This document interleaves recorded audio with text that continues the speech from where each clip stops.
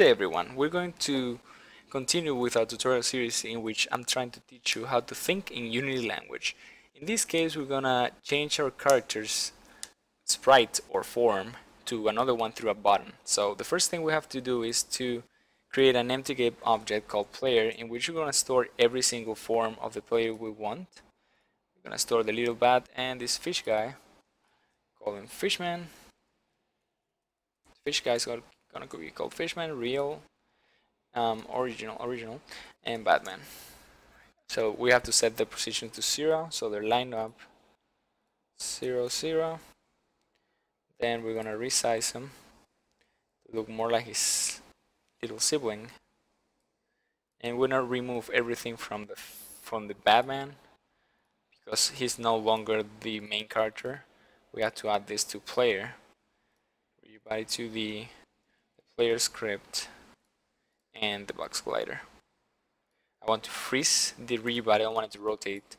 I'm to set the same speeds as before and we're going to edit this collider so they line up better this way. Uh, that's fine. Okay, in this in this way, we also need to set a button for a change. So we go to Edit, Project Settings, Input, Fire 3 I'm gonna change it to change. You can set whatever whichever button you want. Just pick Fire 3 and um, left shift is this button and we also have a jump button already which is space. It, this is default of Unity. So now we have to change things in the script. Go to script. First thing we have to do is create game objects. That's gonna be our fishman and our batman. So we just create game object fishman and Batman. And we're gonna create an int which is gonna be called character select for selecting the characters. In the start method character select will be 1 and fishman will be game object dot find. Fishman what GameObject.find does is finds an object with the name you provide. So it's just simple. You just have to remember the name you gave a certain object in your your your game, in your scene. So that's pretty easy. So now, for changing the characters, we have to create a void update. Checks doesn't have to do anything with physics, only with the buttons.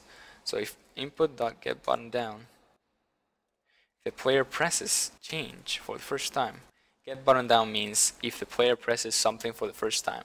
Get button means if the player holds something or if the player is pressing something and up means if he lets go of something.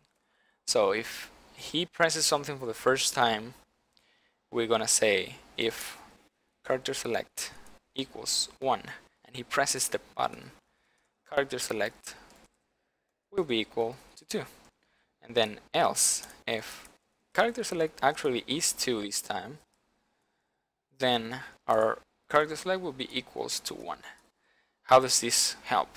Well now after you do that you do if character select equals 1 then Batman dot set active is true. That means Batman is alive and Fishman dot set active is false. That means this guy is not even close so else, if character select equals 2, then we do the exact opposite. Batman will not be and Fishman will be. So false.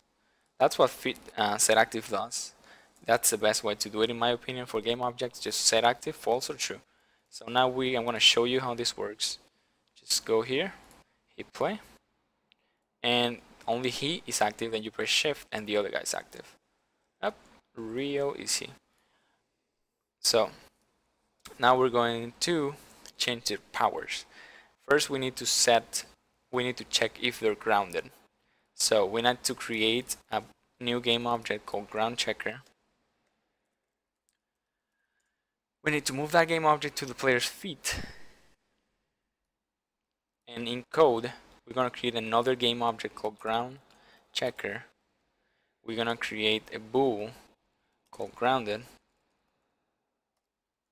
and we're to create a couple floats public float jump speed, and actually another bool, which is gonna be called double jump because I wanted to jump twice. Okay, so we need to go to fixed update method and create a grounded area in which we will say that grounded equals. How what does this equal? How will we make this true or false? We need to do a, a physics 2d check. With physics 2d you have several options but I'm gonna use overlap circle because that's the easiest one. That's that's great. You just have a vector 2 point which is the center of the circle. What's center of our circle? Well of course ground checker.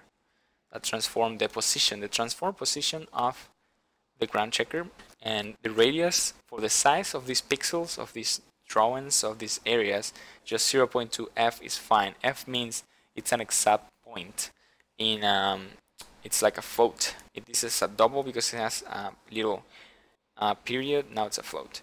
And layer mask. What's a layer mask? A layer mask is the layer your object is set into. So the dock in this case which is our ground is set to default. Or it should be set to ground. Doesn't exist. So I'm gonna add a layer called ground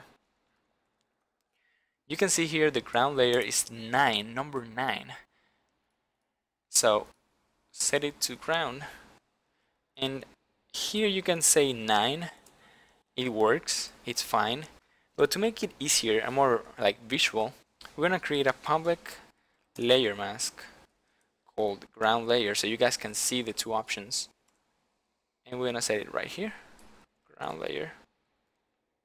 Layer okay so the ground layer here is gonna appear in our player and you can see the layers here everything default just I just want ground to be a ground layer so now that that's worked worked out we're gonna set the powers give only Batman the power to fly Batman flight.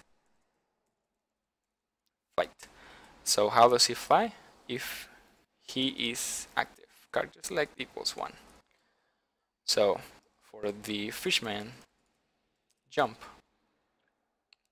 if if our player inputs get button down jump that's first condition second condition if he's grounded right? And third condition, if he is the fishman. If these conditions are, are met, then the rigid body to the add force, we're gonna add a new vector 2, 0, and jump speed. And remember we set that little variable double jump where we're gonna make use that of that here double jump will be true so now else if the player input get button down jump again and he's not grounded. He doesn't have to be grounded for this. He's not grounded and character select is equals to 2 Then, first we have to stop the to the velocity in the y-axis. So body to the velocity equals new vector 2 um, the same body to the velocity on x and 0 on y to make a more consistent double jump. And then we add the force again. Add force. New vector 2 0 and jump speed. Okay, now we set double jump to false. False. And we remember to set this double jump to false in the start of the game so he cannot just double jump all the time. Equals false. Okay, this way we just set everything to for a player to double jump. So let's check if it works. Go here, check that the layers ground here, okay. Hit play. Well, not yet. We have to set this jump speed to something, so I'm just gonna do 200, so it's a lot. Not really sure how much we should set. Oh, it says object reference not set to an instance of an object. This error is very common. It happens when you don't do this. you have to drag your ground checker object or just be sure that this object is present. So the problem is I didn't check for it. Always remember to check for your objects. Game object dot find ground checker. This is a very common error. I'm glad that you got to see that. Okay, we play again. There you go. Okay, your player is grounded. He can jump once, he can jump twice. Look at that. One, two. So that's the end of our video. I'm glad we got to see all of this because this is really interesting. We can fly with one, we cannot fly with the other. This guy can double jump, the other guy can fly. So for the next video, we're going to be playing with our cameras. We're going to create a camera that follows our player, one. We're going to create a camera that shows the background, and we're going to make a camera that's a mini map on our, on our game. So thanks for watching, and I'll see you later.